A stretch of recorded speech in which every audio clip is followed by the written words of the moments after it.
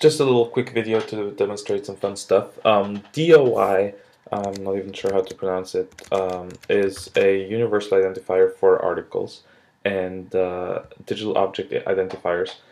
So it's you, you see these codes on a lot of articles, and I always thought that uh, the only way you could use it was to actually uh, resolve the DOI and get pointed straight to that article's homepage. But it turns out uh, Crossref also offers an API for um, getting a citation. And the citation is in XML format, but uh, I found some scripts I uh, modified a little bit that enables us to get BibTeX out of the Crossref. So, you know, I put that together with another script uh, made by the same guy who does BibTeX and CiteProc uh, called AnyStyle Parser, which does uh, tries to intelligently parse a citation written in plain text.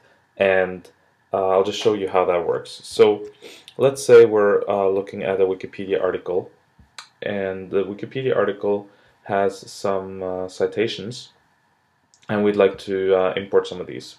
So you'll see here, this is the DOI that I mentioned. Uh, some publications will uh, list them in their reference lists. Now if I just select this DOI and I press Control Alt Command A, um, it will automatically look up that DOI, get the get the XML, convert it into BibTeX, and import it into um, BibDesk. So I'm going to press that button. Okay. And here we see we have a new publication.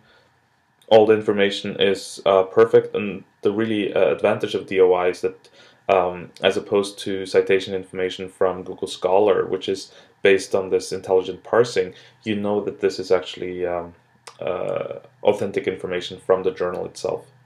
Um, now, you didn't get the PDF, that's uh, another question, but we do have a nice citation here.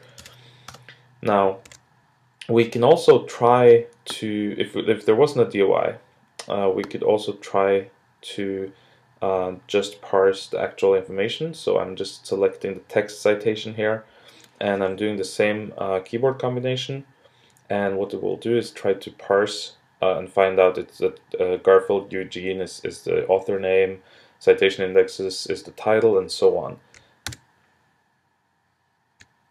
And in this case you see that it actually worked really well. Um, in fact, to me this is slightly better because we get the full name of the author.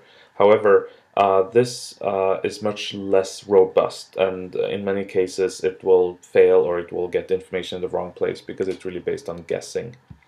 Now the cool thing about this is that it doesn't really work only in uh, a web browser, you can use it in any program. So let's say I'm in Skim, I'm reading an article and I see some really interesting uh, citations here and I say hey you know I'd really like to add this citation to my list.